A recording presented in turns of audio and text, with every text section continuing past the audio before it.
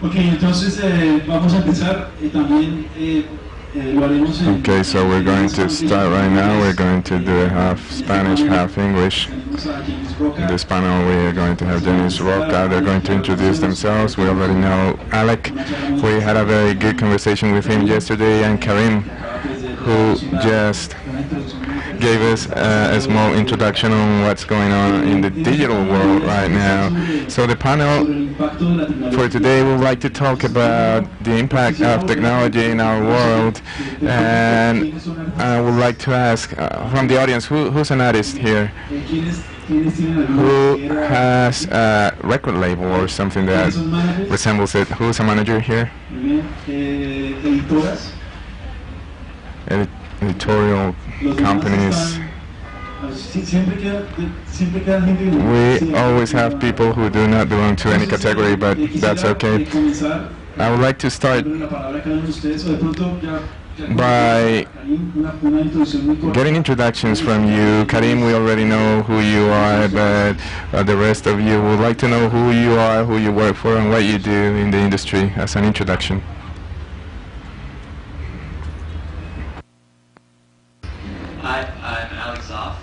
Gracias, soy uh, Trabajo en Next Sound.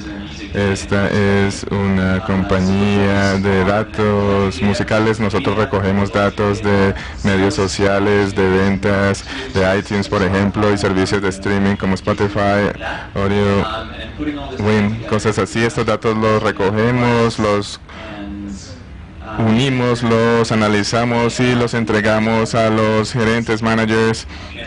Y a los a las disqueras para que ellos analicen y realicen lanzamientos o lo que necesiten hacer. También trabajo entonces con música. Me gusta mucho he tocado la batería durante 18 años y me parece excelente poder trabajar con datos y música. Y me emociona mucho estar aquí y poder hablar de música y cosas así Gracias, Alec. Mi nombre es Karim. Yo soy investigador de una empresa llamada Musicala. Nosotros recogemos entonces los datos, noticias de música, reportamos a nuestros suscriptores de forma diaria. También producimos reportes mm, semanales. Tenemos un sitio web que ustedes pueden visitar, musicala.com. Nosotros entonces trabajamos con disqueras en estrategias y otras empresas también en el- la industria musical. También hacemos capacitaciones y trabajamos con artistas también para compartir datos con ellos. Creo que voy a formar una banda con Alex. También toco un instrumento. Hello, my name is Janice Roca. I come from Bar- Barcelona. I come from a company called Roca Salvatella. That's a consulting company, and what we do is we accompany organizations in their digital transformations, and we work for all sectors. We work in banking sector. Uh, fashion, tourism, as well as media outlets. We work with uh, music, etc. I'm surprised about the amount of organizations that exist out there whose uh, directors do not understand that digital is going to transform everything that they understand as a status quo. And I think there are organizations that attack or, go against this change. And what I think need, we need to have is a cultural change. We need to understand that times change, that the user, the artist, the consumer has is in charge now and they make the decisions and decision making has to be done in a different way and all models have changed and some models are going to disappear. Denise, I would like to start the panel with you. I took a look at what you write. I told you backstage that it's very relevant what you write and in Spanish is very relevant. I think that most of these topics are not being handled in Spanish. You talk about digital and the digital age. Why don't you why don't you explain to us what the digital age is? I'll try to be brief, but in terms of training, I am a, an archaeologist and I specialized in uh, an era, and a special era, a very old era. And people tell me, how come someone like you, with your background, is writing about digital age? You should write about archaeology, right? but I don't do it. What I learned in archaeology and the age I specialized in is that the story of mankind during the last 4,000 years has been marked by inflection points and they are always related to the appearance of a new technology. So when a new technology changes the production system, the way we make our living is going to change and technology always brings about cultural and social changes. Relevant technologies in the in the history of mankind we have had only four or five or six. What are those technologies important technologies that have arose in the history of mankind? The first one I think was when we learned to produce tools by means of rocks, using rocks. We learned to produce the tips of arrows, so that meant that when you went out to hunt, you were able to be away from the animal, not very close, and that's a better way of hunting, right? So if you make a mistake, you have a bigger margin to work with. So working with rocks that brought about a specialization in terms of work and labor. So we had people who were very handy, very good with their hands. So we had that distinction, that generation of classes and then we had agriculture then we would learn to domesticate animals and that brought about the appearance or the of private property, for example. So that's another technology that brought about a big change. Then we have industrial revolution. That's that brought about the appearance of specialization of the labor also, and these digital technology is going to bring about a big change. It's going to change the production and cultural systems. It's going to change human values too. It's going to change the way we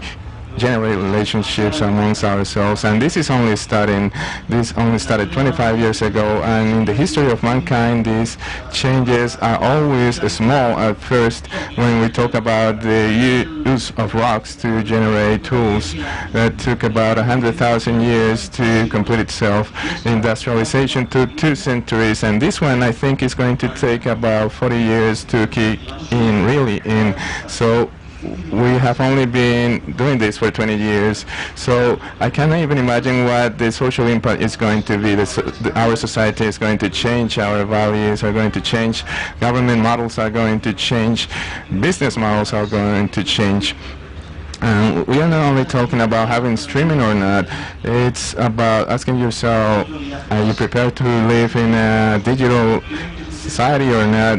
Many people think this is related to investment, and I think that we need to have different teams to have this change happen properly. So we're talking about big changes in companies and society.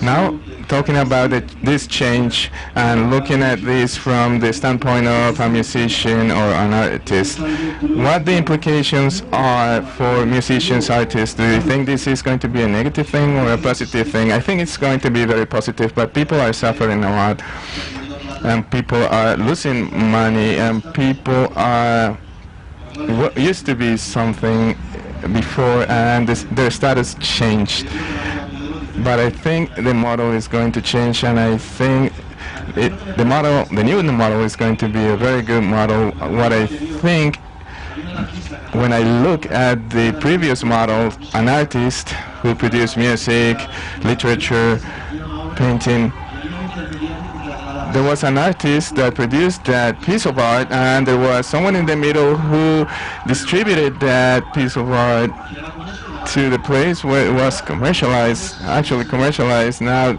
the channels, the distribution channels are no longer the same. So the artist is now able to distribute its own work. And that changed everything. So now I think artists uh, have the ability to distribute their own work. You know, you're not going to have the same scope, the same reach that the previous dealers used to have, but now you have the ability to do. Now you have the ability of approaching your own audience. So before the artist The only thing they had to do was produce a very good piece of art, and some other people were in charge of approaching the audience, but that has changed. Now the artist has to approach its own audience. You're not going to make the same amount of money, but at least you have power over the whole process. This is the thing with record labels. Record labels used to have uh, big reach. Now the artists, they have to handle that themselves almost.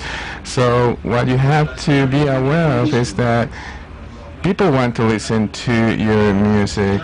The record companies, they wanted to make deals, but people now, they are demanding music, new music, and the artist has to be able to provide a service. So in order to provide a service, you have to be prepared. So the record labels, they know who the authors are, but they don't have an idea who the audience is. I want to give you an example related to the printing industry. A newspaper knows who the journalists are, but they don't know who the readers are. You read a newspaper during 20 years, but the newspaper does not know what football team you support, what music you listen to. They don't care about that. And I think the same thing happens with the record labels. They don't have control over the audience and a lot of control over the author, the artist. And this is not oriented to service. This is oriented to the product, focused on the product. Dennis, you mentioned that the, the artist before had to produce a piece of art but based on the new reality, the artist has to have different skill sets. I would like to know what those skill sets are. I would like to have Karim, ¿qué tipo de actitudes debe tener un artista hoy en día para competir y sobrevivir en el mundo actual? I think uh, one of the big Una de las grandes diferencias en el mundo de la música hoy en día es que los nuevos medios están uniendo todos los elementos. Tenemos video, tenemos audio, tenemos todo en línea. Tenemos que interactuar también con los que escuchan. Tenemos una banda que se llama Lock of the Earth. Ellos hacen muchos covers en YouTube, millones de vistas. Y único- la única forma de hacerlo es tener todas estas actitudes, no solo la música, el video y el baile. Necesitan manejar muchas otras cosas, necesitan generar las ideas para sus presentaciones y generar toda la música. Entonces todo esto tiene que unirse, pero es un arte diferente, ¿verdad? No solo tienes que ser un compositor, también tienes que ser lo suficientemente creativo para desarrollar. Lo demás. Sí, absolutamente, y debes entender de forma profunda tus fans, entender la industria también, lo que el resto lo que el resto de la gente está haciendo también. Karim, ¿qué piensas? Creo que eso es lo más importante. La palabra creativo es lo que debemos utilizar. No solo tenemos que ser buenos en la hora de grabar la música, si no puedes hacer mm, videos o animaciones, tienes que encontrar a alguien para que te ayude a hacerlo. En la presentación también hablamos un poco de esto. Es, hay un- algunas canciones que son muy buenas, pero son muy populares porque también tienen un buen video y tienen otras capacidades. Tienen que capturar la atención de las personas. Hay otras cosas pequeñas que también se deben hacer. Los medios digitales nos permiten tener distribución global en solo un día. Puedes pueden cargar ustedes un archivo musical en SoundCloud, por ejemplo, y tener este tipo de exposición. Necesitan generar ruido alrededor de su producto. Tienen que encontrar formas de separarse también de lo que no funciona en estos medios. Necesitan ustedes crear su propia imagen. Tienen que mirar lo que otras personas hacen y qué funciona para ustedes y de esa forma pueden capturar la atención de las personas. Dennis, please. Think something that's going on with the digital world today, economy has to be cooperation economy, collaboration economy. You don't have to be a brilliant person to and be able to do everything you need to do in this scene. I think that's impossible. I think you don't have all those skill sets. So far, many artists, I don't want to generalize, there are some exceptions, but many artists have focused on their work and they delegated the rest to the record company. You need to control the whole process, the entire process. You should not delegate it. You need to have control over the process. And the only way to do this is to have your fellow musicians be your partners. You shouldn't hire someone else to do some things. I think the project should be yours. I think that the age of having an eccentric artist, isolated artist, is coming to an end. I think that there are important things. I don't think there is a difference between the video and the lyrics. I don't. I think they are all important. I don't think that the graphic design is more important than the lyrics or the other things related to this industry. And I think that you should not delegate any of these things. From a personal standpoint, I have always said that the artist should be handling or managing its own content, its social networks, social media, but sometimes this is very difficult to accomplish. Sometimes I don't think we have an idea of how difficult this is, even though we have technology to do it from a smartphone and iPhone, for example. I think that's very difficult to handle, Denise. What do we have to do to switch that, to change it? Because the this is already happening, and I think we need to catch up. All these tasks that you were talking about, they have to be done by a member of the band. I think that if I were a singer, and I was composing my own songs, I will have to explain to my audience that we are actually four different people. Otherwise, when Twitter, my Twitter account is being looked at by someone else, I think they are not going to feel the same. I think that we have to sell the idea that even if I am a singer, if I sing by myself, I think that they need to know that someone else is working with me on my different social media account. Otherwise, I think people are going to think I'm not authentic. Being authentic today, I think, is a very important issue. Taking into account the changes in terms of the content that we are experiencing today, before we used to have a lot of videos, very expensive videos full of bling bling, and that's something that we're not seeing today. I think this is changing. Fans want a different kind of content. Y para abrir la pregunta para ustedes también, Karim y Alec, ¿qué han visto ustedes en términos del contenido y los cambios que se han experimentado? Porque ahora se trata más de ser real y, tener, y no tener estas producciones grandes que se tenían anteriormente. Sí, yo creo que tiene razón. Si ustedes ven los videos musicales que se hacían antes, era el típico video de rap con eh, alguien con una cascada de agua y, simplemente se paraba y eran fantásticos, sí lo eran, pero no le decía nada del artista. Y pienso que tiene razón, con el artista tomando control del proceso y con esta colaboración cercana se logra una mejor imagen del alma del artista porque está en el control del proceso. Eso se refleja en el contenido. Y muestra realmente la personalidad del artista. Explica sus pensamientos, su contexto. Y no se ve solo una producción, sino un, un pedazo del artista. Es su casa, su vecindario. Se entiende más sobre qué artista es ese.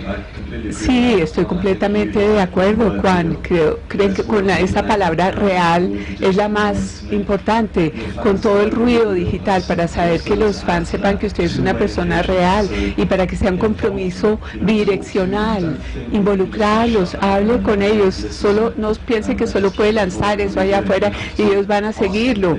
Hay que preguntarles cosas, producir con tus contenidos y que ellos también lo hagan para usted. Usted eh, importarle es, son, es una relación, son gente. Un error que cometemos es que no pensamos en esos términos. Pienso que voy a, a empujar mi música y mis fans lo van a amar. No, piensen ellos como gente, lo llamamos como este compromiso bidireccional.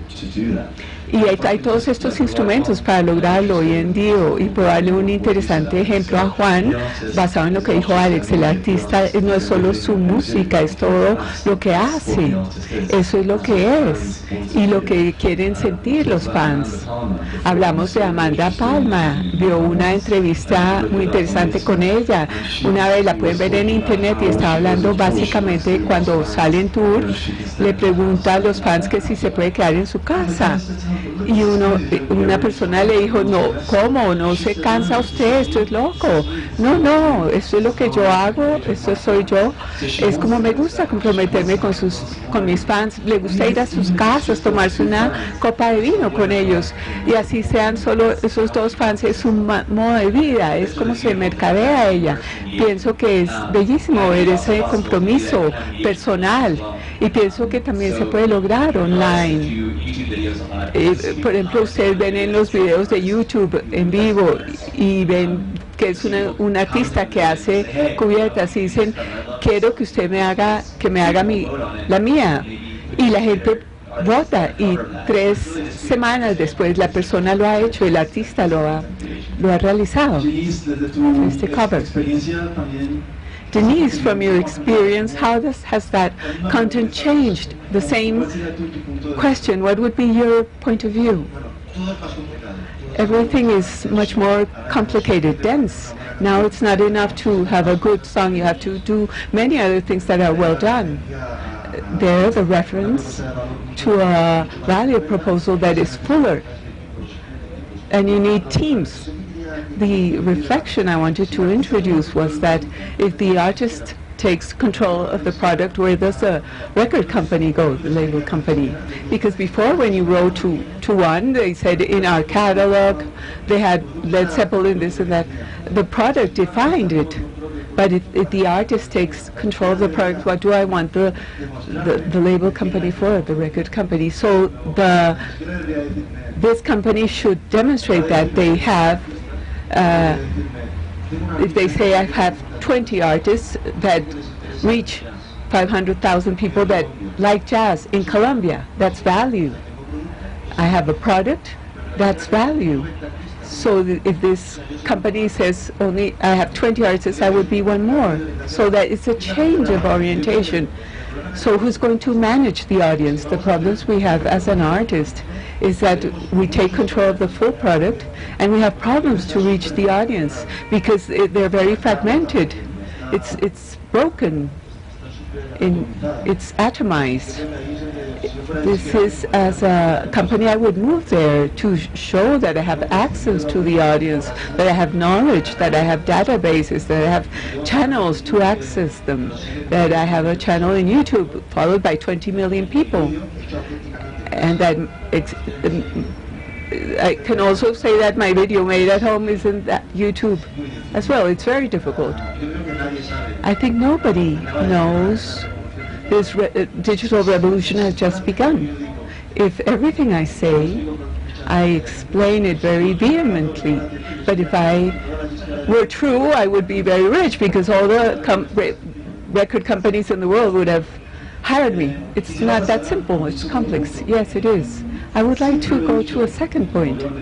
I have always said it and this is very related with Alex's presentation yesterday, the great difference between the business nowadays and 20 years ago is information.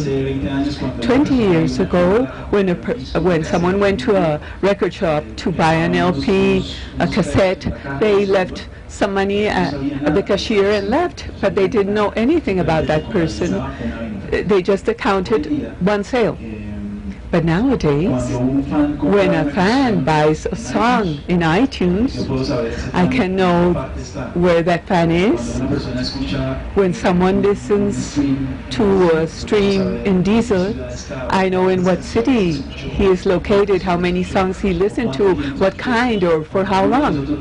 When each one of us watches a video in YouTube, I can know where that person is too when I speak about consumption as to a trying to get the people when I go to a concert and, and it, it, it didn't work. The fans are going to give me that feedback and said it, it was a failure or whatever.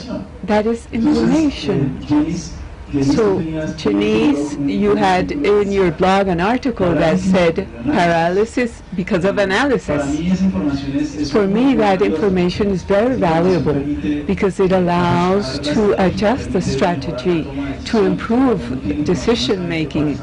You know, where your fans are situated, like Alex said yesterday, the consumption during the weekends is higher, so I can improve my message and address that. I have information to take decisions. That's very important for me. For Janice, why don't you explain to us a bit that uh, about paralysis by analysis? What does all that information mean? How can we use it? There are so many data that we're going to get lost because there are too many. Uh, nowadays there are too many data and very little questions. We, you should focus yourselves on questions. If I know the question, I will know the adequate data. I had an example.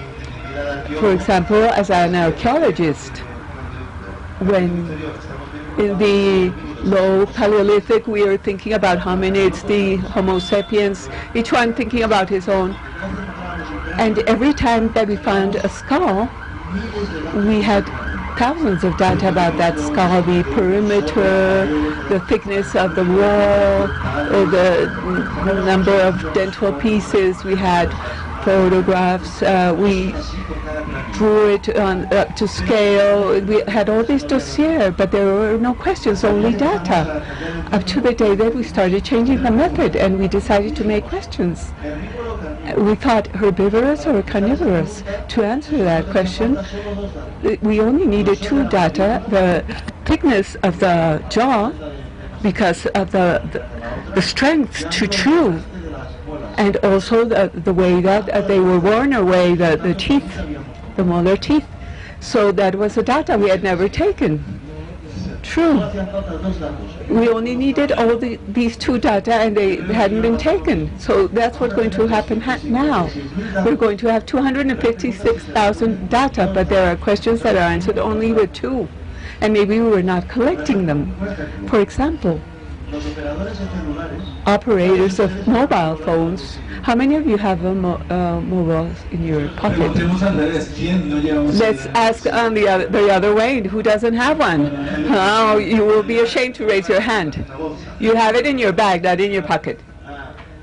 The mobile operator knows how many people are at a concert and knows how many people I come from Barcelona, for example. My mobile has roaming from Barcelona. The mobile operator in a concert knows how many people from from Spain, Germany, France, for an example, or people from Argentina, how many days they stayed in Bogota. Because if the concert was on Tuesday and they left on Wednesday, they can tell the mayor's office that this concert made three pe people stay three days the, in the city. So that's important that this is another model for income. And you can go to the tourism office. So uh, because we didn't ask them, we missed that data, but the mobile operator has it. Excellent example, yes, I think it's very good. So how do we do now?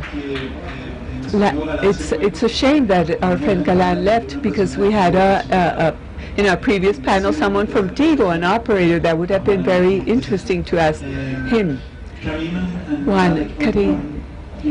Karim y Alec, continuando con esta discusión de datas, sé Alec, sé tu pasión con esto, ya lo dijiste en tu presentación ayer, pero piensas, ¿qué piensas de todos estos datos? ¿Cuál es el significado para el artista?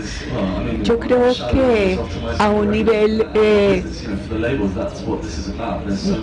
muy profundo es, es, es importante saber los datos eh, para las compañías. Eh, sí, el problema es que hay muchos datos. Las compañías tienen demasiados datos. Eh, todas estas métricas de música nos ayudan para tener sentido de estos datos. Espero no salirme de mi, de mi respuesta, no, pero quiero decir que no debemos ignorar los datos a nivel eh, grande y, chico.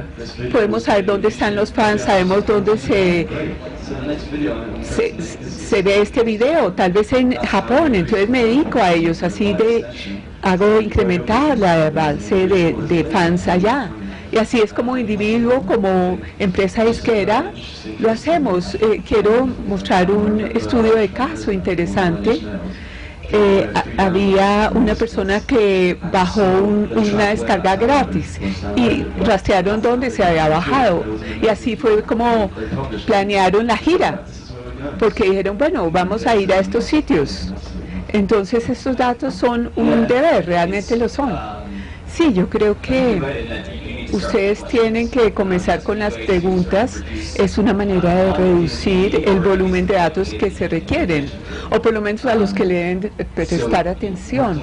O sea que estamos recolectando de iTunes, Spotify, timestamps por zip, geographic, pero lo que le pregunta a la gente es el contexto y poder contar historias con estos datos. Ustedes pueden querer ver todo para ver dónde van en su gira pero también quieren sus datos para ver cuáles son los objetivos. Por ejemplo, teníamos un cliente que, quería su artista en Saturday Night Live y ustedes están tratando de mostrar la historia de que este artista ha tenido un crecimiento enorme y pueden usar nuestro producto para mostrar una serie de tiempo en el mapa y mostrar toda la extensión de fans, pero tal vez no necesitan eso para mostrar esa historia. En lo que nos enfocamos es en cuál es la clave y cuál es la trayectoria que usted quiere mostrar.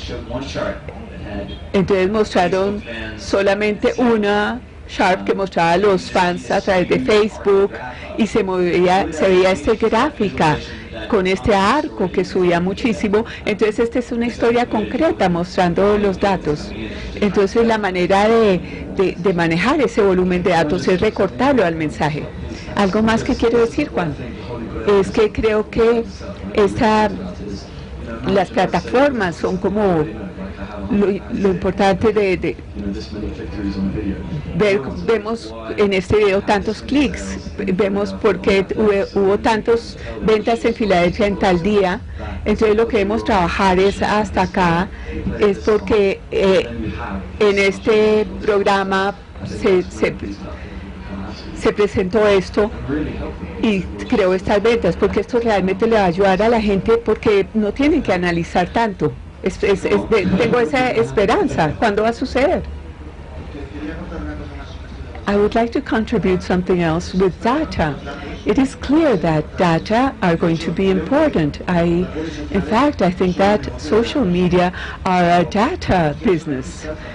When you are, the majority of you are artists, performers, I think with all this work you have be, before you, you have to be like Renaissance men to do all this. Otherwise, you have to want to wish to have that data. For, what does that mean to say? I mean that the majority of you, it's normal in your band, in your activity, to have a Facebook uh, page, for example, whatever, MySpace. And the majority of you are uh, to have the majority of fans or uh, I have already 5,000 in Facebook, so many in the others. That database is from Facebook, not yours. So Facebook with your hard work to be able to uh, have 15,000 fans.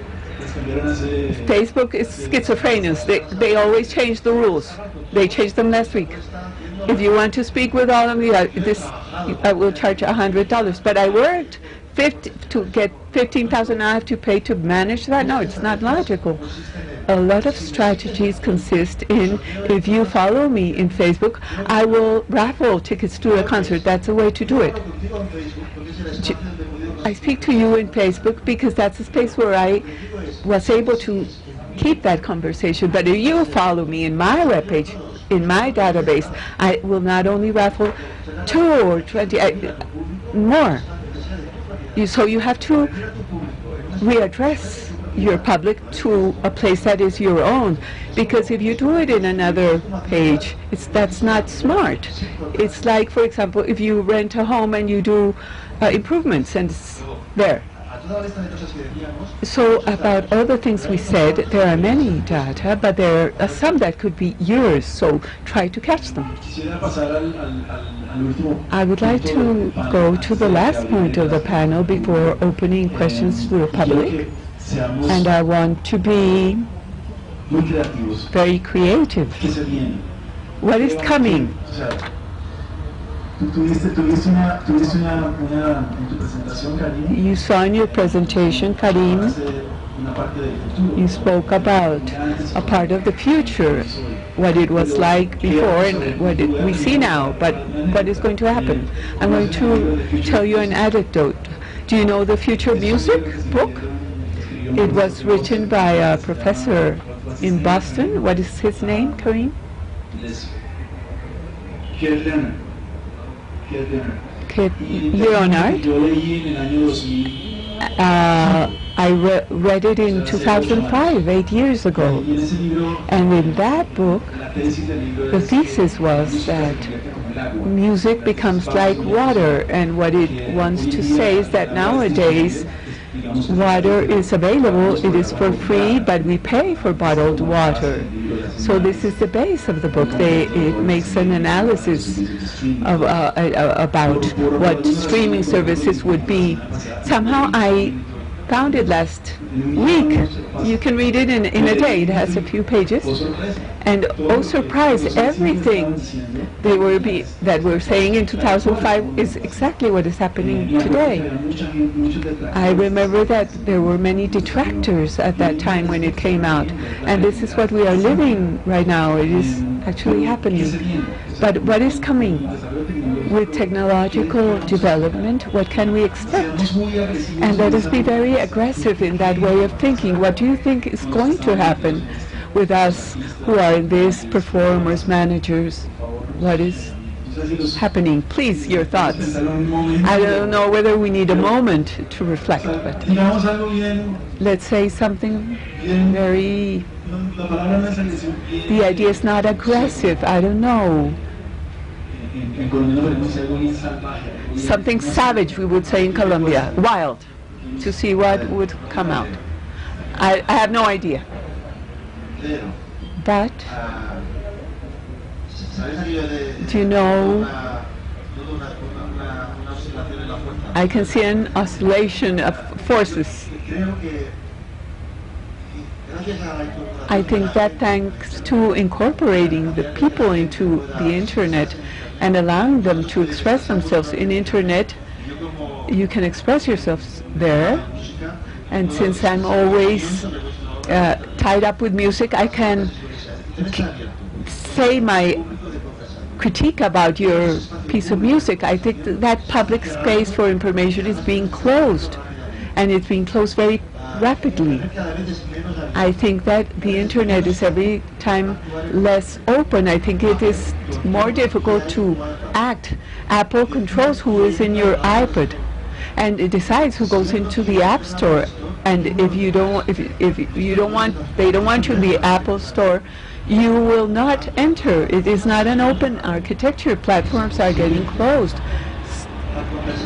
Then subsequently the conversation is becoming closed What Twitter conversations used to be or in other sites are going to WhatsApp.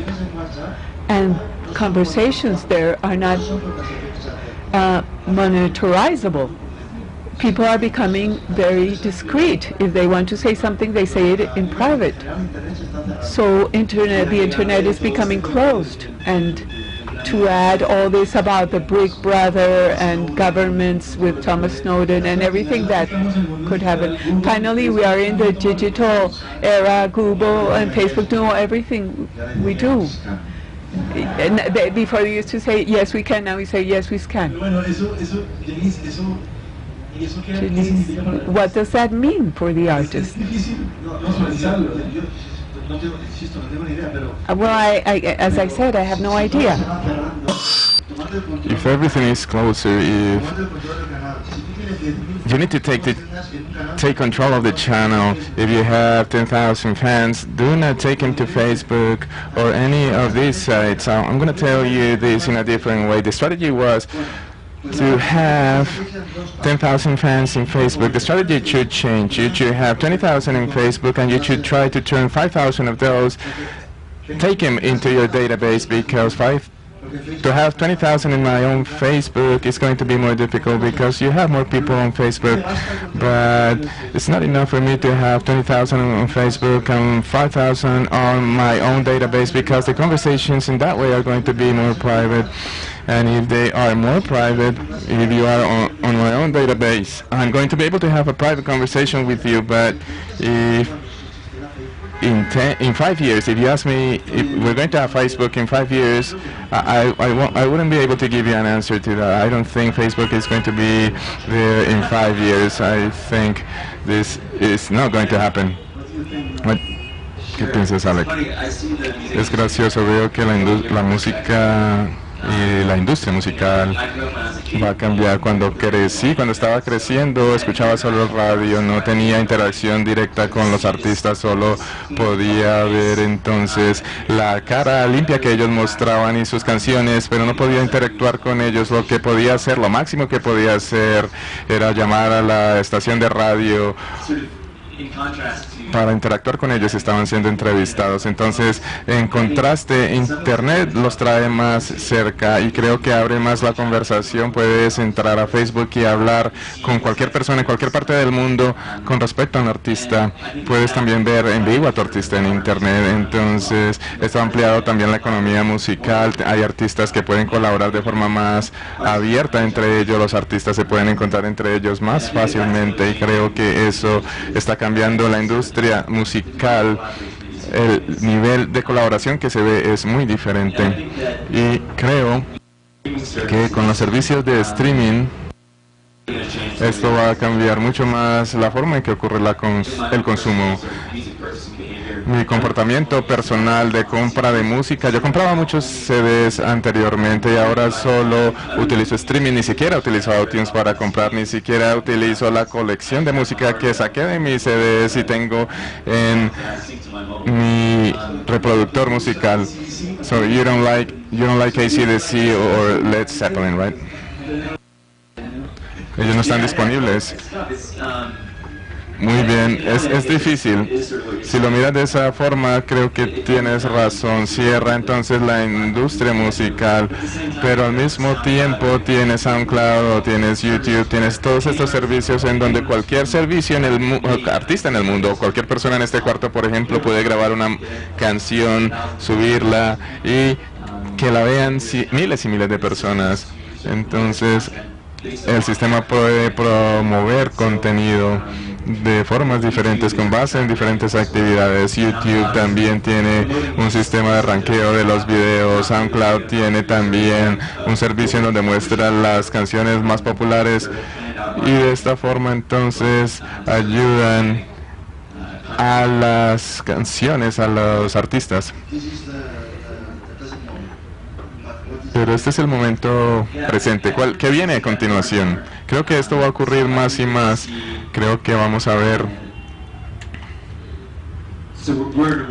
estamos en un mundo en donde La música es muy relevante, pero creo entonces que vamos a tener un crecimiento más orgánico de música. Se va a generar música de forma más orgánica y creo que esto va a ser más abierto, más social y creo que vamos a tener datos también detrás de esto para poder identificar a los artistas de forma más temprana y de esta forma cambiar entonces la forma en que los artistas pueden encontrar su lugar en el mundo.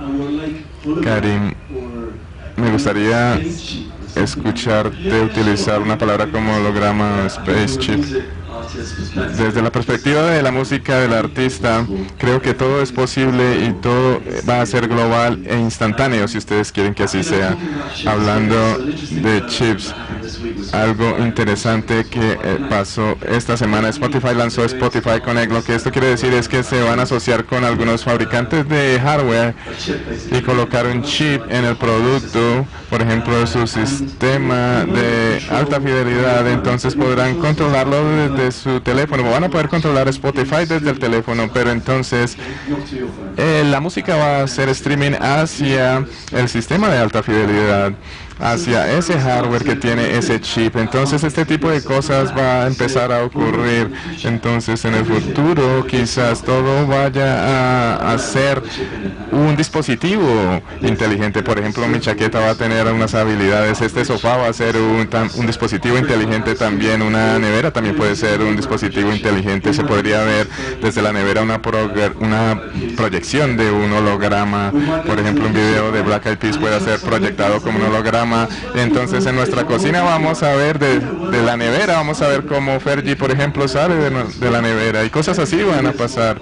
Todo va a ser un dispositivo inteligente y las posibilidades no tienen fin.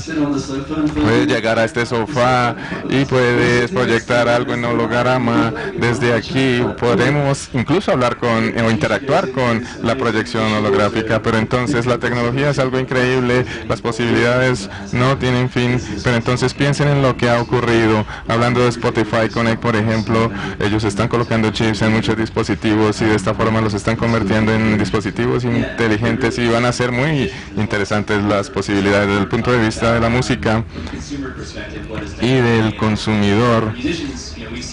Las posibilidades son muchas, pero para los músicos hemos visto como también las, los cambios en la tecnología han permitido la creación de nueva música. Por ejemplo, muchas de las personas con las que trabajo podrían entonces incluso crear música desde donde trabajamos. Yo trabajo en Electronic House Music.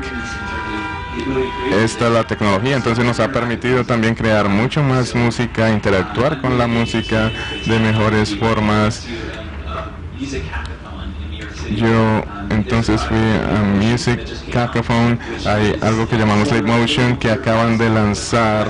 Es un dispositivo que puedes colocar en tu escritorio y ellos este dispositivo interpreta los movimientos de tus dedos. Entonces este dispositivo puede incluso mapear mis movimientos de los dedos a acordes en una guitarra o en otro instrumento. Entonces de esta forma puedo controlar el flujo, la música que produzco.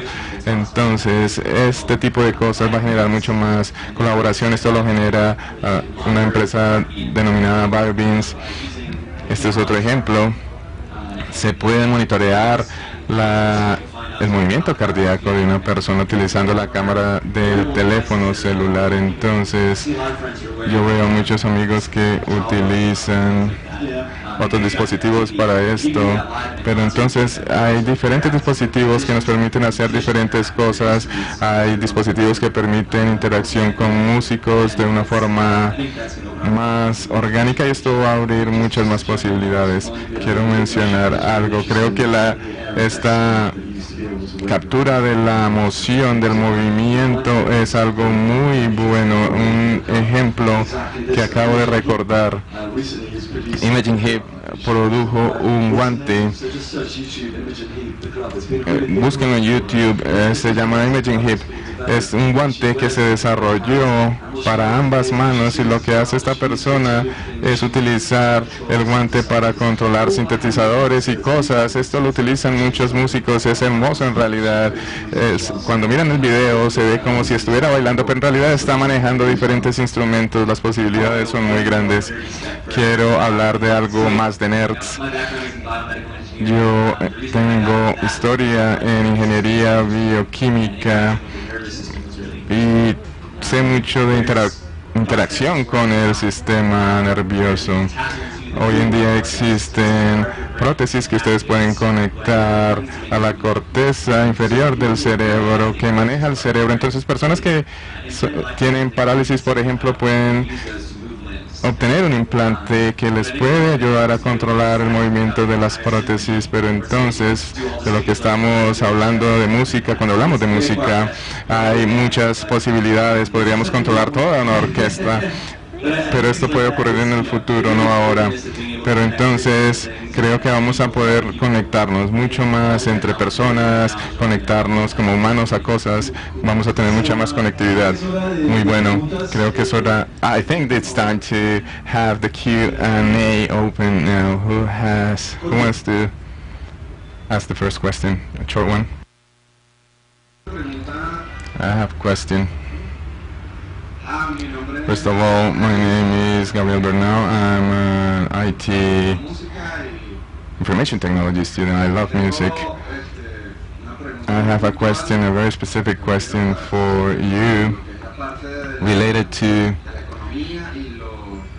economy and the business models. My question is, what's the effect that something that changes all the time as uh, human behavior, what's the impact that this has on the way that I sell myself as an artist if, for example, I'm targeting a market that is stable today and all of a sudden there is a big change, uh, revolution or something that as complex as the Spanish situation today. So how do you handle this if you don't have any economic knowledge or knowledge related to the economy of regions, especially something as sensible as economy? And another part to my question related to statistics. How would it help me, for example, if I want to be someone like Simon Cowell? He has years of experience and his data has been collected by himself based on his experience. So how would it help me as a producer, for example, for me to be able to have this creativeness, to be able to read that data, to interpret that data and help a new band that is trying to make it to the scene but I only have that data. So how can I interpret that if I don't have the possibility of having access to that knowledge or the experience that someone may have, some leaders may have in the market?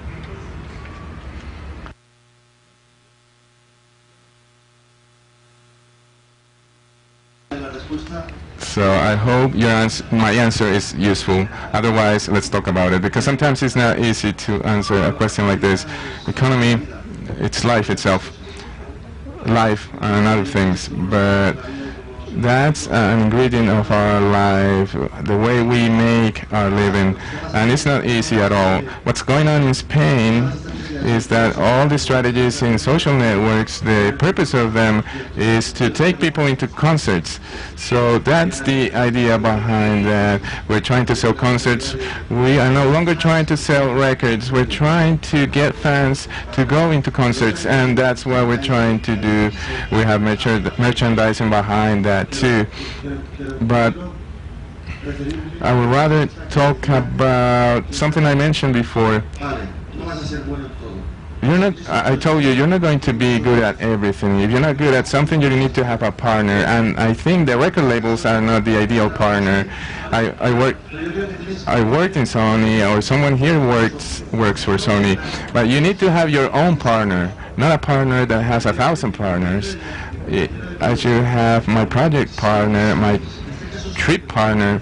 So if Sony is able to convince you that they're the best partner for your project, that's great. But if they're not, you need to look for someone else. If you have a weakness, if you're good at, at many things, but you have a weakness, you need to have a partner. You need to surround yourself by people who are capable. Maybe you're a good composer, but you need a lead singer.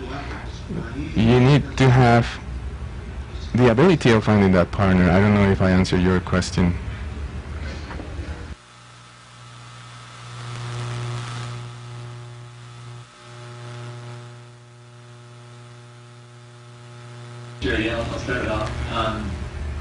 Empiezo entonces.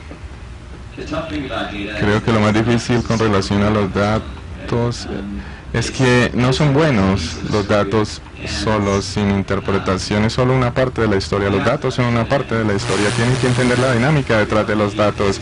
Si ustedes van a ser un físico, ustedes, además de las ecuaciones, tienen que saber cómo se mueven los objetos, cuál es la interacción entre ellos, por ejemplo, hablando entonces de los expertos musicales que existen, creo que todavía son muy importantes, todavía debes tener la capacidad de trabajar con personas que entienden la industria musical de arriba a abajo y creo que contestaste la pregunta. Necesitas más personas, necesitas personas que tienen experiencia con datos y con la industria musical.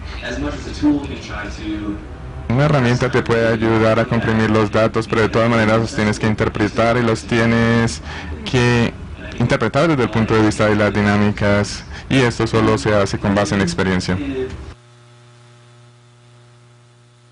Simon Cowell is who he is because he has that sense of smell. And that's what we have in the industry the producers behind all the hits from Rihanna and all this pop music.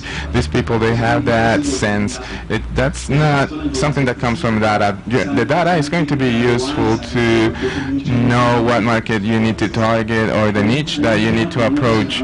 There is an issue that I feel very passionate I feel very passionate about. In Barcelona your city there are two companies, one that is still there, so one, another one that collapsed. One of these companies works with Shazam. What they did was develop a technology.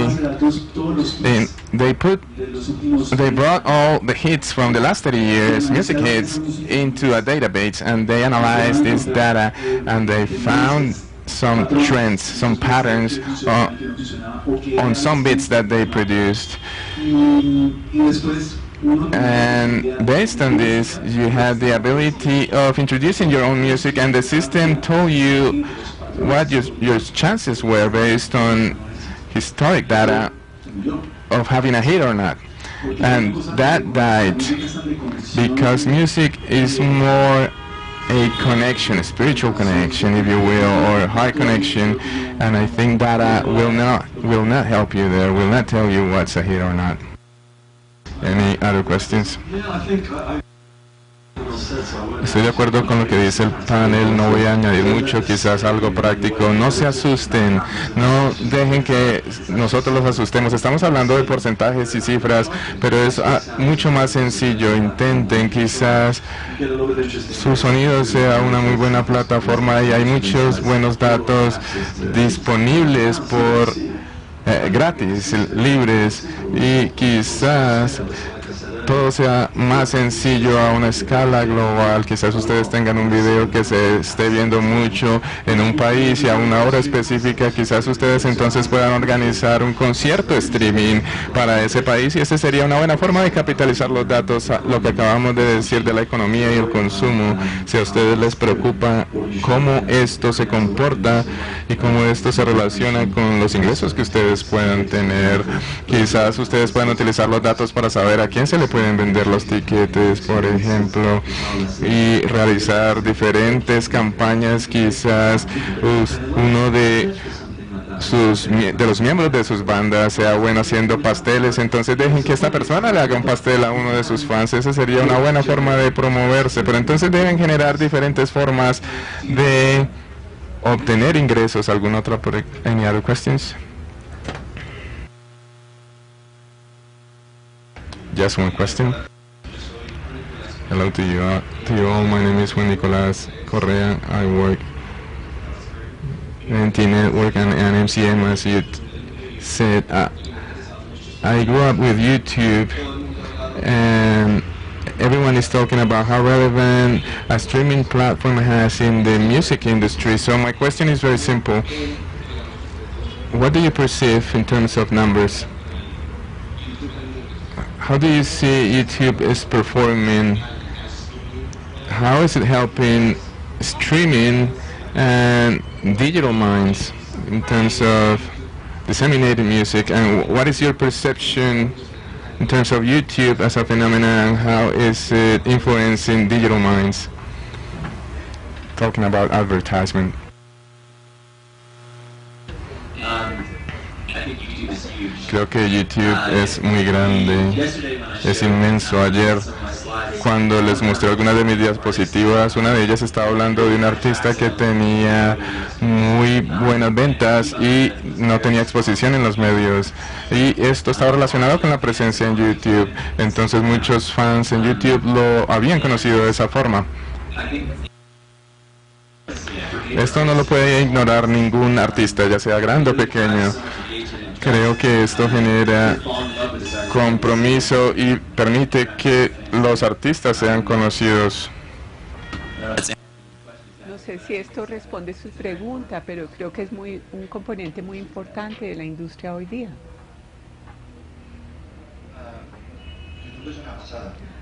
YouTube uh, is really something else. It becomes so dense. There's so much there that it's very difficult to be keeping. But it's a good tool, indispensable. I can't imagine a defense of the performer without using YouTube. But what is difficult is to be relevant. Uh, maybe today I got up pessimistic. I don't know what has happened. I am the biggest fan in this room in believing in the strength of social media and how they are going to transform and push. But to be relevant in YouTube is only to the reach of real professionals. You do have to be very good to be relevant in YouTube. It is false that a domestic video that is badly made will be successful in YouTube. There you have to be very good or you have to be have fun like because there is so much quantity that you will be annoyed within all this general noise. I would like to complement the answer with another reflection. The platforms we are working on are so global, YouTube, uh, Spotify, Twitter, that it seems like we have the ambition of being global ourselves. The majority of us. With our trajectory through the social media, is to be good locally. You can have 2,000 visions in YouTube and you can be very efficient to be relevant in the zone T in Bogota, this zone of Bogota. It all depends of having 2,000 views in YouTube because we're not all in this global war. In, in the local market, some thousand views are, are, are good. Maybe 30,000 would be better, but they're good enough. As to whether it moves sales, yes, it does. Alex, yo creo que tú puedes decir eso. We have seen that when an artist has views in YouTube, they do translate into downloads because it's popular. What is popular is what moves a download. It does work like that. Yeah, and, and I think it's really Sí, yo creo que realmente es cuestión del mercadeo, aparte del video, como usted dice, es local y también está dirigido a su base de fans. O sea que si yo fuera a subir un video ahora, no hay manera de que estuviera en la top list. Pero sí puedo decirle a mis amigos, a los fans que tengo y lo puedo mercadear específicamente hacia la gente que conozco para que les importe. Y puede ser no necesariamente instrumento para que otros me descubran, sino medio para mi mensaje. Y haciendo esto, puedo tener eh, a mis fans y construir una base de ventas. Eh, The second question, please. My name is Pablo Orjava. I have an urban alternative band.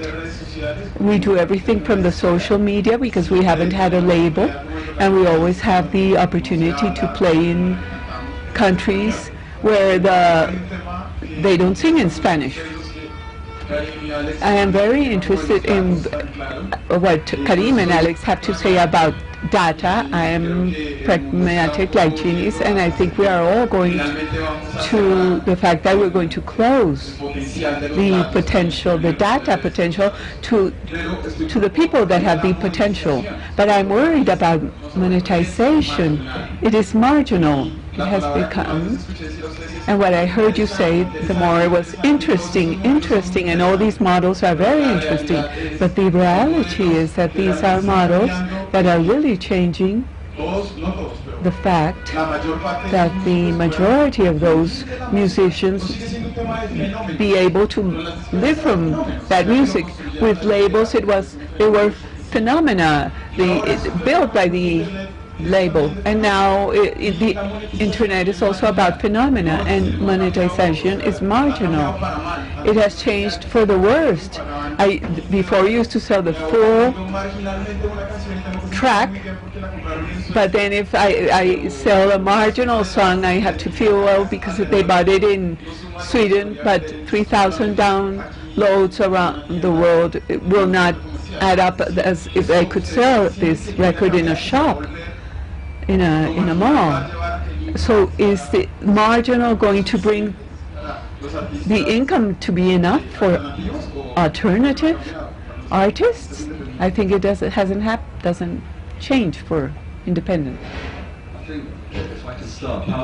Bueno, si puedo comenzar, Pablo, con, con respeto.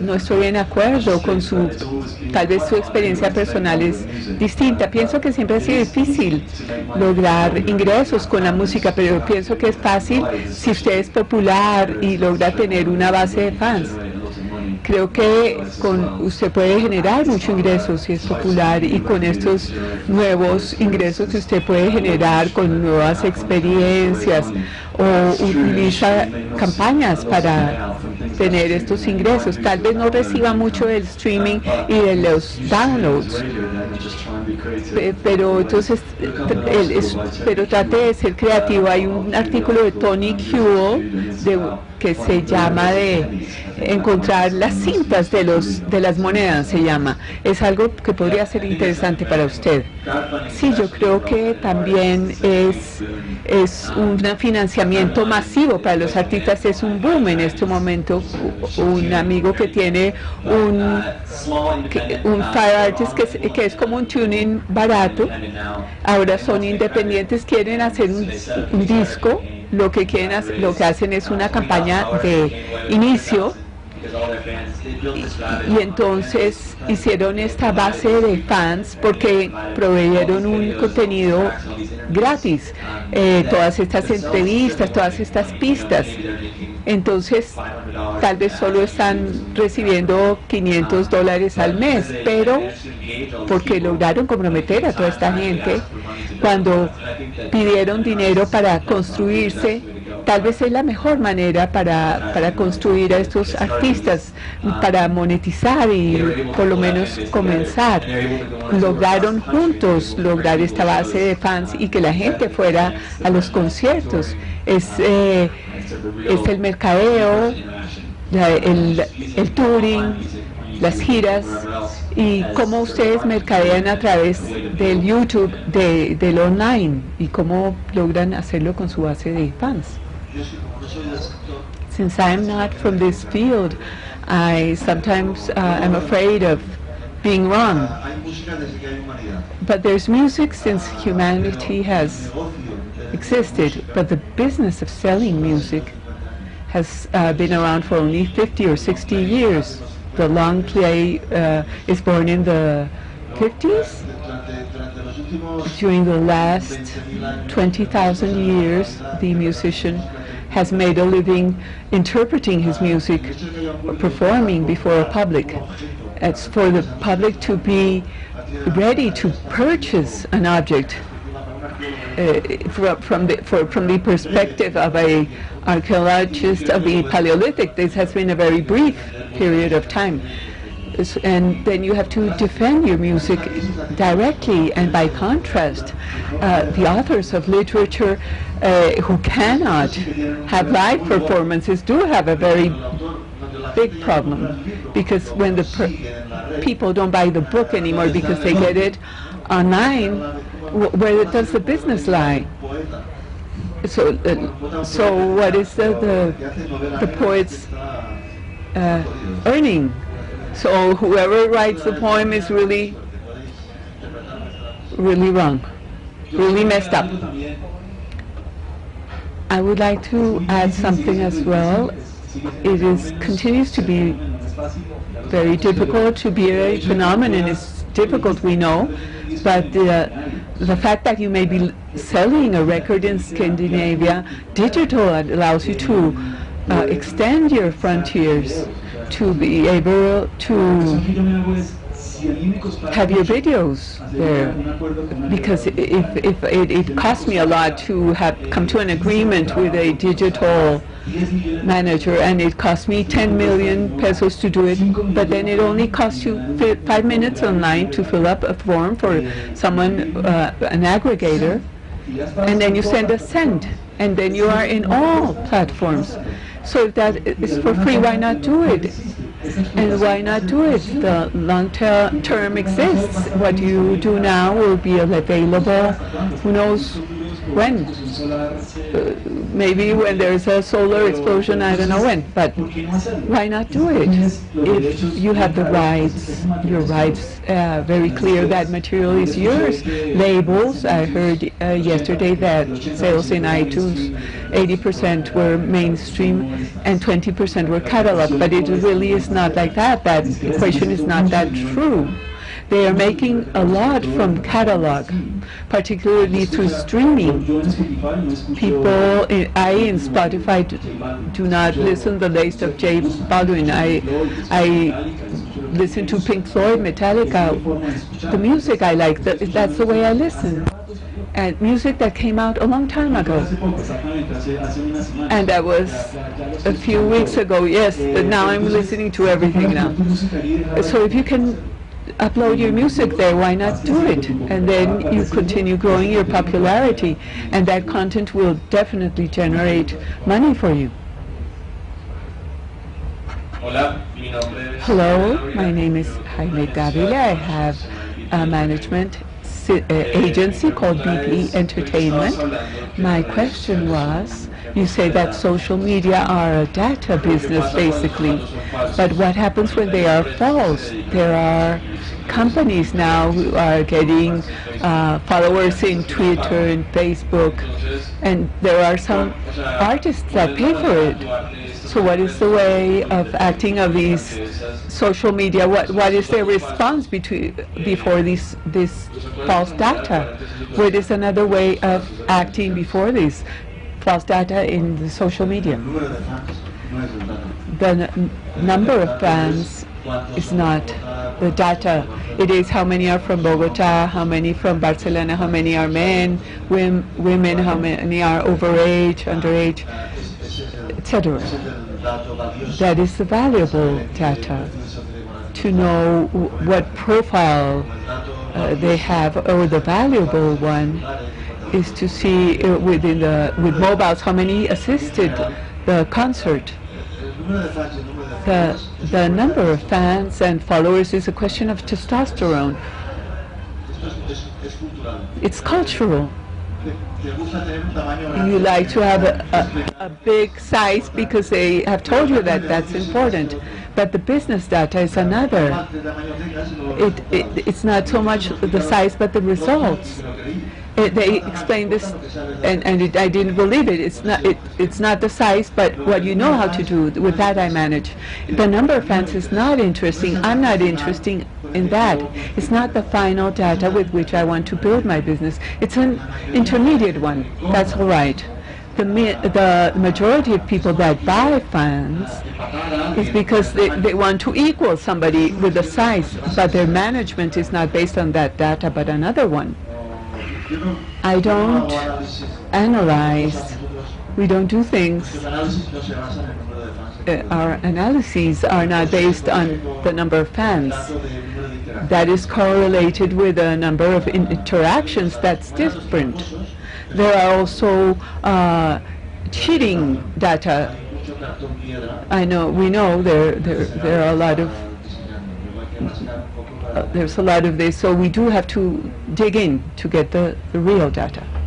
Yeah, so it's interesting, is not at all. Sí es interesante, no es un fenómeno nuevo realmente, esto ha sucedido por mucho tiempo, no solo en las redes sociales, sino cuando la gente se iba a los almacenes de discos y llamaban a preguntar cuántas personas han comprado este disco, las eh, emisoras de radio estaban buscando estos datos y la gente mandaba a sus representantes locales y si no se habían visto allá en los programas de radio, lo, lo hacían que lo hicieran. O sea, siempre se va a jugar con los datos, a manipular. Pienso que hoy en día el, beneficio es que los datos son más abiertos. En Twitter se pueden ver todos los seguidores, todos los nuevos de un artista. Y hay sitios allá afuera y que van a- a mirar, a profundizar y ven por este seguidor de Twitter eh, qué, posibilidad hay de que se conecte de acuerdo a otros seguidores de los tweets que han mandado. Y tanto Twitter como Facebook y estoy seguro que YouTube también tiene equipos internos que están trabajando muy duro con estas métricas. Le importan a la industria, ellos están trabajando para sacar spam. Pero no es nuevo, no es nada nuevo ahí en el planeta.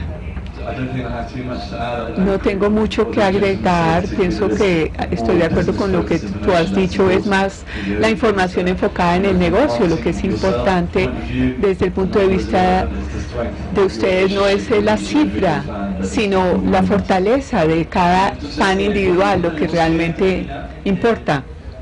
Well, to finish, Karim Malik, Denise, thank you very much. I hope that it has been very pleasant for you as well.